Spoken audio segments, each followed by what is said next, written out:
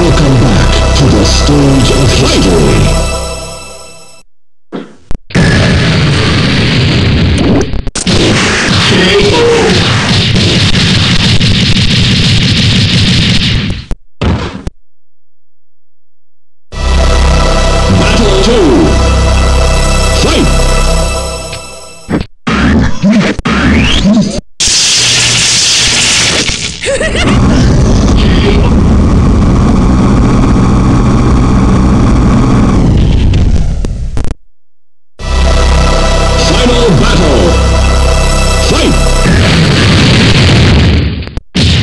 kì